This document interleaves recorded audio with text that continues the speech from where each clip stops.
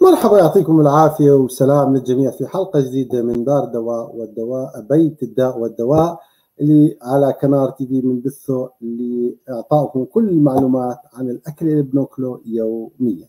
اليوم حنتكلم عن سؤال مهم جدا جدا قد لا تكون حلقتنا طويلة اليوم ولكنها مهمة جدا جدا جدا. عندي فيتامينات ومش عارف إمتى؟ أخذها. هل أخذها مع بعض؟ هل آخذ هذا الصبح وهذا بالليل؟ هل آخذ هذا الظهر قبل الأكل وهذا بعد الأكل؟ هل ممكن أخبص بينهم مع بعض؟ سؤال مهم جدا جدا وخاصة الآن عندنا المكملات الغذائية آه، يعني تقريبا تقريبا نستخدمها كلياتنا. خلينا نجاوب على سؤال مهم جدا قبل ما نبدأ في موضوع المكملات، لماذا نستخدم المكملات الغذائية؟ للأسف للأسف للأسف المفروض إحنا نأخذ معظم الفيتامينات والمعادن اللي بنحتاجها من ما وراء ما حولنا من أكل، لكن لأنه إحنا ما بنلون في الصحن تبعنا أو الطبق تبعنا وبالتالي إحنا نسبة المكملات اللي بنحتاجها بتصير أكثر وأكثر. لو إحنا فعلا شكلنا في أكلنا وأكلنا من الخضروات والفواكه اسبوعيا بكمية مناسبة صدقا لن نحتاج إلى كل هاي الأمور. اليوم بدنا نحكي عن عدة أمور وأهمها آه، الفيتامينات والمعادن المكملة. خلينا نبدأ فيهم واحد واحد. أهم أهم الفيتامينات اللي بتكلموا عنها وبتتاخذ عند ناس كثير اللي هو فيتامين C. فيتامين C أنا دائما بحبه مع زنك وبحبذ الفيتامين C يتاخذ chewable chewable معناها تمسكه وتمضغه في تمك مش بلع ليش؟ لأنه امتصاصه في الفم بكون أسرع بكثير مع اللعاب من امتصاصه في أي مكان في الجسد فوجود chewable فيتامين C بوفر عليك كثير أو بزيد كمية الامتصاص. لازم نعرف إنه فيتامين C جسمك ما بيصنع وما بيخزنه.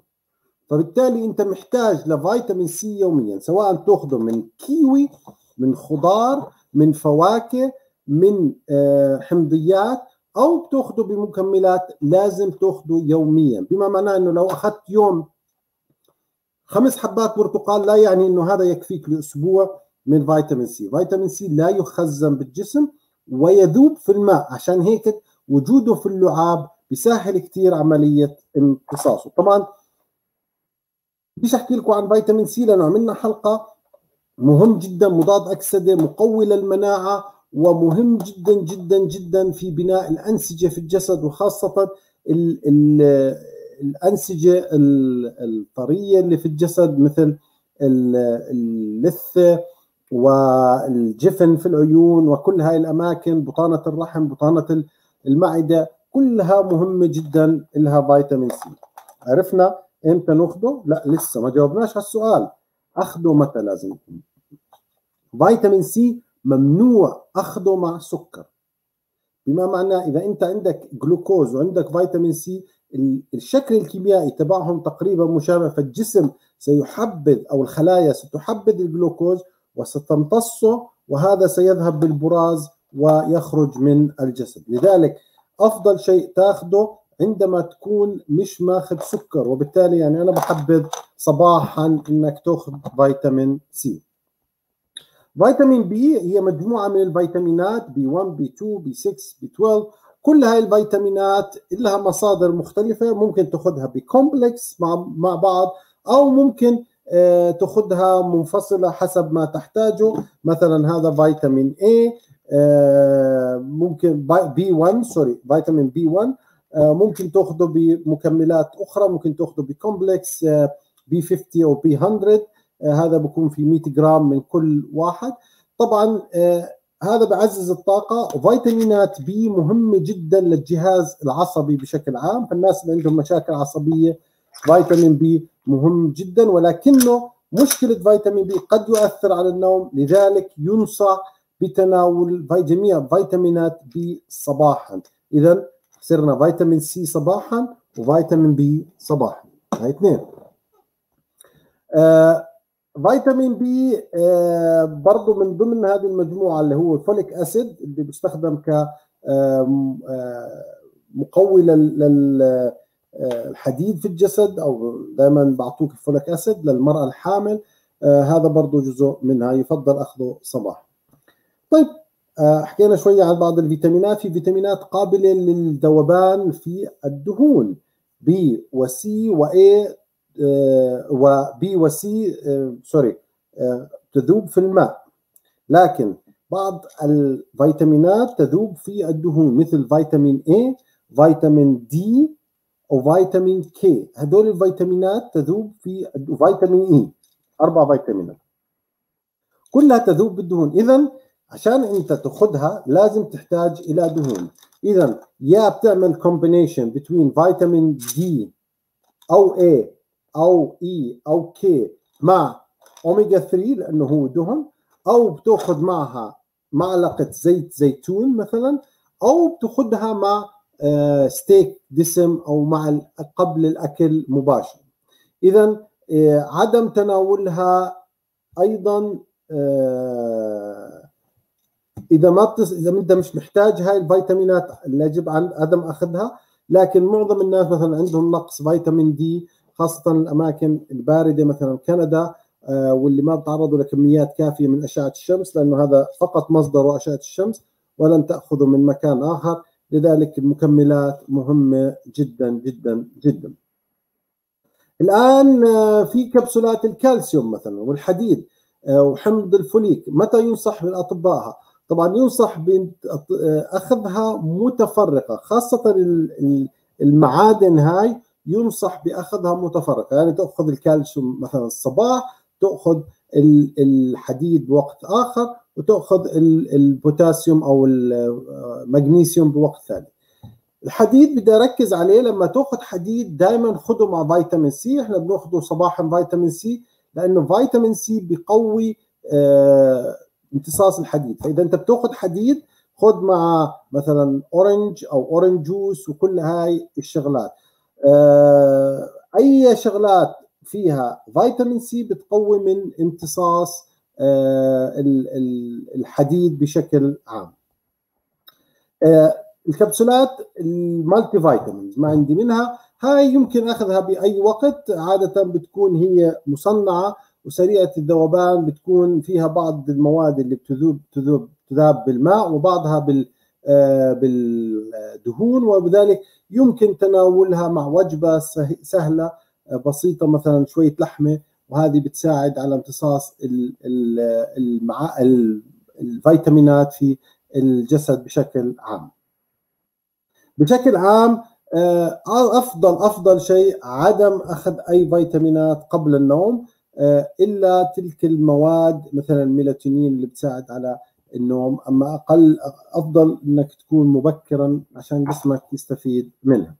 الكالسيوم الكالسيوم مهم جدا لصحة العظام وناس كثير وخاصة السيدات تستخدمه كمكمل غذائي عشان بعد عمليات انقطاع الطمث أو الدورة الشهرية وهذا طبعا مهم جدا إنه نأخذه بانتظام بكميات مهمة وخاصة كربونات الكالسيوم اللي هي في ناس بياخذوها أيضا مساعدة ك لتقوي أو تقليل من حمض المعدة أو تكسير حمض المعدة اللي بصير معهم ارتجاع باخذوا زي حبوب الكربونات الكالسيوم اللي هو Tums بسموه. هاي طبعا فيها مكم... في الكالسيوم فيه له مكملات كثيرة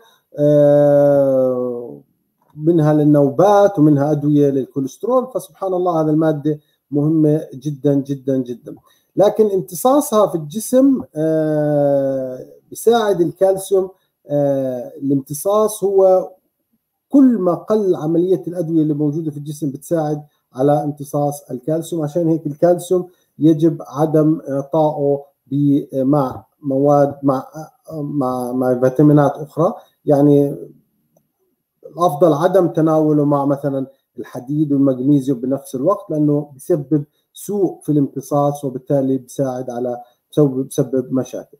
المغنيسيوم وهذا طبعا مادة مهمة جدا جدا بتساعد على آه، آه، تنظيم وظيفة آه، أعضاء الأعصاب.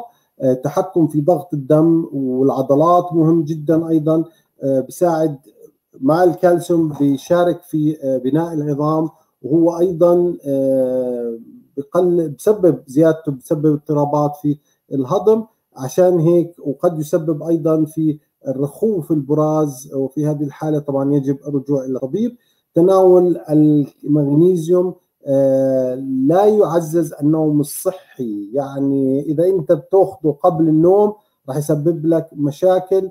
عشان هيك آه، يعني يفضل تناوله آه، عفوا المغنيسيوم لأنه عفوا عفوا أنا هون المغنيسيوم في الليل أفضل منه في أي وقت آخر لأنه هو بيساعد على النوم على النوم الصحي وبساعد على تخفيف بعض الألام وبالتالي relaxation لل muscle في ناس بتصير عندهم cramping في ال muscle وهو نايم خاصة مثلا الرجل بتلاقيها شدت هيك. هذا دليل واضح على نقص المغنيسيوم. وإحنا حكينا في الحلقات الماضية وجود المغنيسيوم بكميات كبيرة في الموز وخاصة القشرة البيضاء الموجودة بين القشرة الصفراء والمو ولب الموز. هذه اللحاء اللي موجود هذه فيها غنية كثير في المغنيسيوم لا تضيعوها ولا تكبوها. اليوم كانت حلقة هيك سريعة متى نتناول الفيتامينات؟ إن شاء الله نكون جاوبناكم على بعض الأسئلة. في النهاية بدي أحكي عن ال apple cider. ال apple cider هو مادة آه، أو آه، اللي هو خل التفاح آه، عليها كثير حكي الآن. الأفضل شيء شرب خل التفاح الغير مصفى. في خل تفاح بتلاقيه رخيص وفي خل تفاح بيكون مكتوب عليه with mother with the mother أو مع الأم اللي هو غير مصفى. بتلاقي فيه آه، فتر أو أو أو عكر شوية لونه أصفر وليس أبيض. هذا خل التفاح الأفضل. إذا بتستطيع إنك تشربه شرب يعني ملعقة من خل التفاح لأنه جدا مهم جدا بخفف من الوزن جدا مهم للأوعية الدموية والقلب مضاد للكوليسترول وبخفف من ال radicals أو ال ال ال المضاد للأكسدة بشكل عام. تحط آه، كأس ماء فاتر مع ملعقة من خل التفاح. ممكن تحط شوية ليمون عليها ممكن تحط شوية ginger ممكن تحط آه كركم شوية ممكن تحط آه، أي شيء ممكن من هدول الشغلات المهمة. المهم تخلطهم كويس وتشربهم. الأفضل عدم شربهم بهاي الطريقة شربهم عن طريق آه، شلمونة أو straw أو مصاصة عشان تأثير خل التفاح على الأسنان قوي جدا وممكن يسبب إلى تنخر في الأسنان وتسوس. فالأفضل شربه direct يدخل في الجهاز الهضمي وعدم تلامسه على الأسنان وبالتالي أنت بتستفيد منه وما بتضر أسنانك. إذا ما بتحبه ممكن تأخذه عن طريق حبوب الأفضل. أنا باخذ اللي هو الناتشورال الطبيعي آه، اللي هو وذ ذا ماذر موجود في الوول مارت حقه 5 6 دولار تقريبا. بينما المنقى النظيف آه، بكون سعره دولار دولارين كمية كبيرة جدا. هذه نهاية حلقتنا. آه، نراكم إن شاء الله في حلقات قادمة وإلى لقاء آخر. والسلام عليكم ورحمة الله وبركاته.